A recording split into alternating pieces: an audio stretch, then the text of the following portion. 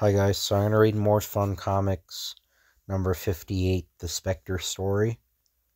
So The Spectre by Jerry Siegel and Bernard Bailey. No one knows that Jim Corrigan, hard-fisted detective, is in reality the earthbound Spectre, whose mission is to rid this world of crime. Cornered by the police, a vicious gangster succeeds in keeping the officers of the law at bay. I can hold them off till doomsday, and if they try to rush me, it'll cost them dearly. At that moment, Jim Corrigan arrives. It looks as if we'll never get him out. Let's see what the Spectre can do about it.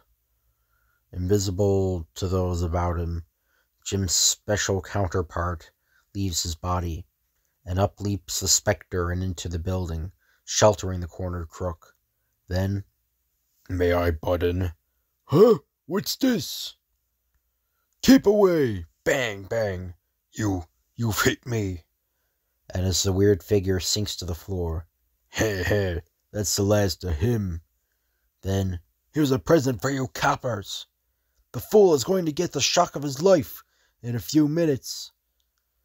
Down plunges the specter, crashing into the sidewalk, but instead of being destroyed, he bounces right back up again. I'm here again. But you, you can't be. You're dead. I just killed you. The gangster seizes a rifle. It's a trick, but this'll take care of you. You're welcome to try. Right, right through you. Disappointed. Oh, spook. I'm getting out of here. Tiring my, tiring my company so soon. Running into another room, the thug slams the door shut. Woo, made it. My gosh. I'm, I'm here again. That's the payoff. I'm going batty. I gotta get out of here. The gangster runs out to the waiting cops. Put your hands up, Nick.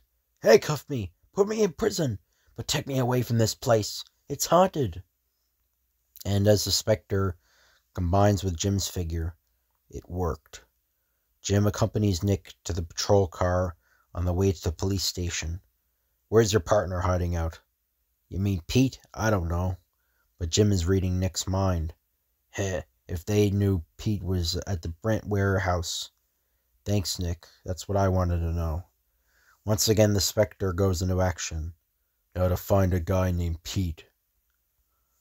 Through the night streaks the Spectre in the form of a blazing comet.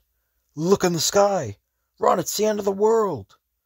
Upon reaching the Brent warehouse, the Spectre shrinks in size. Just like a deflating balloon then strolls under the warehouse door. What burglar wouldn't give to do this? A man tied to a post, and Pete is about to set the place on fire. But you can't do this. It's murder. Can I just watch? I wave from the specter's hand and, Hey, what's this? The flame has turned into an icicle. Next instant, Pete sights the reflection of the specter's face on the ice. Am I seeing things? Then the specter's eyes bore into Pete's eyes. No, no! Good grief, he's melting! Yes, consumed by the villainy within him. Tell me, who are you, and why was Pete going to do this to you? I'm Bob Brent, owner of this warehouse. I don't know why I was brought here, but Pete said someone hired him. Who are you? Me. Just think of me as some sort of guardian angel. You better go home now. Thanks for all you've done. Don't mention it. But as Brent drives off, the specter trails along. Somehow I've a hunch that Brent will need me before the night is over. Then as Brent turns into a barren one-way street, that truck is out of control. A crash is inevitable. The specter concentrates, and the car leaps over the onrushing truck. In the ki kitchen, I don't understand. I give him enough poison to kill a dozen men, and he wants more. And why not? Good heavens! Where did you, how did... Frightened, but not frightened enough to tell me who ordered you to kill Brent. I won't tell. I, I... Oh, yes, you will, or you will die. Would you like that, James? You can't frighten me. I faced death before. I'm not afraid to die. Not afraid. Eh? Well, look into my eyes. Look deep. Release me! Don't let me look! I'll tell you anything, anything! That's better. Now talk. But at that instant the telephone rings. Answer it. Yes. If it's for the master. Then summon him. The spectre renders himself invisible as Brent appears. Hello. It's oh, it's you, Morris. Want to see me at the warehouse at once? It's important. I'll be there as soon as I can. No, I've got to do it quickly. Before James can pull the trigger. Stop! You! This time you are too late. I'll riddle him with bullets. I'll. The spectre snaps his fingers, the butler noiselessly explodes into nothingness in a brilliant flash of color. You asked for it. Brent has an invisible passenger as he le- drives into the warehouse. I wonder what my partner wants to see me about so late in the evening. That's just what I was wondering, too. Later. What's up, uh, Morris? Sit down and I'll show you. This. I'm going to kill you, Brent. Kill me? But why? Because I've taken too much of the firm's money, my dear partner. You will sec- you were second to find out and send me to prison, and so when I kill you, I remove a possibility of a jail term. Then it was you who hired that gangster to sail- slay me. Bright boy, you hit it right on the head. After Morris ties Brent, in five minutes this bomb will explode, and you will go up with it, and I'll be off to enjoy my ill gotten gains. You fiend! But as Morris turns to depart, Just a minute. Huh? I'll be with you in a moment.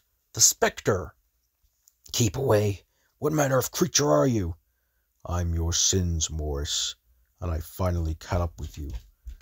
But at that instant a brilliant puff of smoke and the spectre vanishes. He's gone, and I'm getting out of here before that bomb goes off. Unexpectedly, the spectre finds himself floating through the deepest black space. Some cosmic occurrence sending me back, back to the spirit world. But Brent's in danger. I can't help let leave him helpless back there in material world. I've got to get back. Summoning all his willpower, the spectre concentrates. Back, back to Earth. Back, back. The thrill of relief floods the spectre as he materializes back into the warehouse. You're back again. I've got to get you out of here. Untying Brent, they both run from the building a moment before the devastating blast. Boom! Now to attend to Morris.